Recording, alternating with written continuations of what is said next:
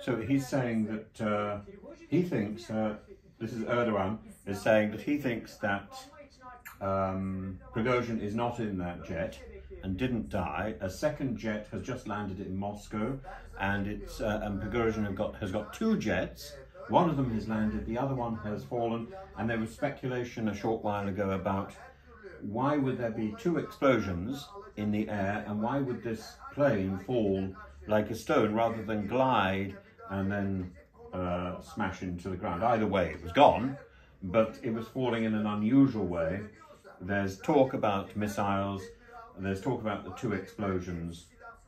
And so, so may, may, maybe we're jumping to uh, conclusions too soon. Maybe Prigozhin is still alive. Maybe we have to wait to hear who gets out of the plane in Moscow.